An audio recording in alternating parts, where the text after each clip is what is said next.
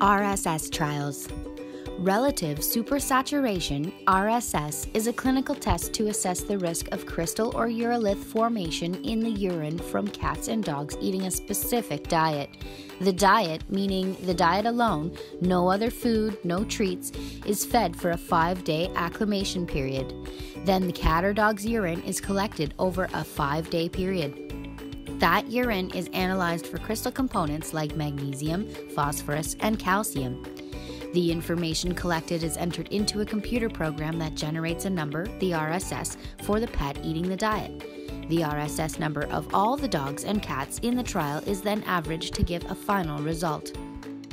The sugar solution example is a great analogy for risk of stone urolith formation due to urine saturation. If sugar is added to water, the sugar initially dissolves quickly and there is no chance for individual granules to stick together. The solution is undersaturated for sugar. As more sugar is added, it no longer dissolves and is now oversaturated, making a sticky, messy clump.